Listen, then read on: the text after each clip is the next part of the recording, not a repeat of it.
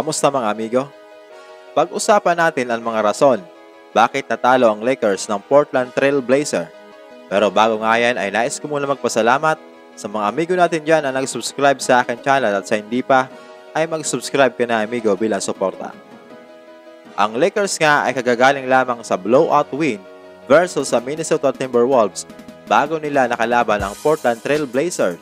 Sa makatuwid ay back-to-back game nga nila ito mga amigo at umaasa sila na maiuwi nila ang panalo pero hindi ganon ang nangyari.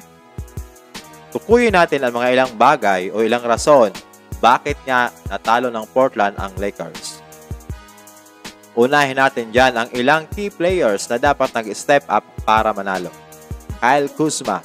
Si Kyle Kuzma ay nagkaroon ng efficient at pambihirang performance sa laban nila kontra sa Minnesota Timberwolves kung saan nakapagtala nga siya ng 20 points sa kanyang 8 out of 12 shooting from the field at 4 out of 8 shooting from the 3-point area. Overall, meron siyang 66.6% from the field at 66.6% din from beyond the arc. Medyo malayo nga yan mga amigo sa laban nila kontra sa Portland Trail Blazer kung saan sa 9 attempts ay dalawa lamang doon ang kanyang naipasok kaya lumalabas na meron lamang siyang 22.2% from the field at ang dalawang iyon ay galing sa 3-point area kung saan nagawa niya ito sa 8 attempts kaya lumalabas na meron siyang 25% from 3-point area. Anim lamang ang kanyang naging puntos mga amigos. Sunod, Montres Harrell. Efficient naman ang shooting ni Harrell ngayon dahil meron siyang 60% shooting from the field. In 5 try, nakagawa siya ng 9 points. Napakababa ng attempts niya para mag-shoot ng bola kahit na mas mahaba ang minutong ibinigay sa kanya ngayon. Nakapaglaro nga si Arel ng 27 minutes samantalang sa Timberwolves na laban ay 20 minutes lamang mga amigo pero nakagawa siya ng 12 points. Kapansin-pansin din na hindi ganun ka-agresibo si Montrezl Harrell kanina. Sunod, Anthony Davis. Si Davis ay wala sa laban nila sa Timberwolves dahil meron siyang injury at kanina medyo cautious nga itong si Davis dahil kung napanood mo ang laban, hindi siya ganun ka-agresibo at Napakababa na kanyang score mga amigos kung saan hagawa lamang siya ng 13 points. Sa 14 na pagsubok niyang ma-shoot ang bola, anim lamang doon ang kanyang naipasok. 42.8% mga amigo, malayo sa kanyang average na performance kung saan nasa 51% field goal at nag-average siya ng 24 points per game. Pangalawang rason ay ang kakulangan ng depensa. Marami silang pinapalusot na easy shot kung saan Nakaka-score nga ang kalaban at sa huling limang minuto ng fourth quarter ay tabla pa ang score subalit sa mga sumunod na posisyon ay hindi na nila napigilan si Damian Lillard na halos sunod-sunod umiscore katulong si CJ McCollum. Pangatlong rason ay kulang sila sa desire para manalo. Well, may isang faktor akong nakita bakit hindi masyado ganong ka-agresibo ang Lakers kanina.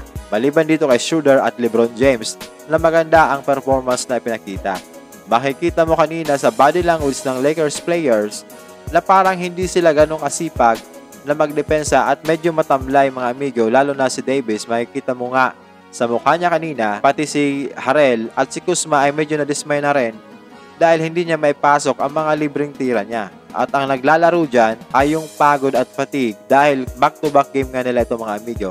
Kaya siguro mabigat ang kanilang mga katawan. Pang-apat turnover. Maraming nasayang na posisyon ng Lakers sa mga turnover. Well, credit mga amigo sa magandang depensa ng Portland na talaga naman naging dahilan bakit maraming turnover ang Lakers. Nakapagtala nga ang Lakers ng 14 turnover samantalang ang Portland ay 6 lamang. Panglima, assist. Nagkaroon ng 20 assist ang Lakers samantalang ang Portland ay mayroong 27 assist. Kulang ang naging ball movements ng Lakers dahilan ito bakit yung ibang player ay nakatayo na lang, hindi sila gumagalaw o gumagawa ng cut para sa easy shot. Lalo na nang hawak ni Dennis Schroeder ang bola at diretso na ito sa laksak. Well, credit kay Schroeder, ang ganda ng laro niya kanina kasama si Lebron James. At ang panghuling dahilan ay ang pagputok ni Garrett Trent Jr. na gumawa ng 28 points at ang pag-take over ni Damian Lillard sa crunch time kung saan gumawa siya ng sunod-sunod na puntos at assist para ma-maintain ang kanilang kalamangan. Yan lamang mga amigos ang ating NBA update. Ano ang masasabi nyo sa laro ng Lakers kanina? Mag-iwan ng opinion sa comment section at aking babasahin yan. At huwag kakalimutan na mag-subscribe, like, and share at i-hit mo na ang notification bell para wala ka ma-miss ng mga bagong videos na aking i-upload.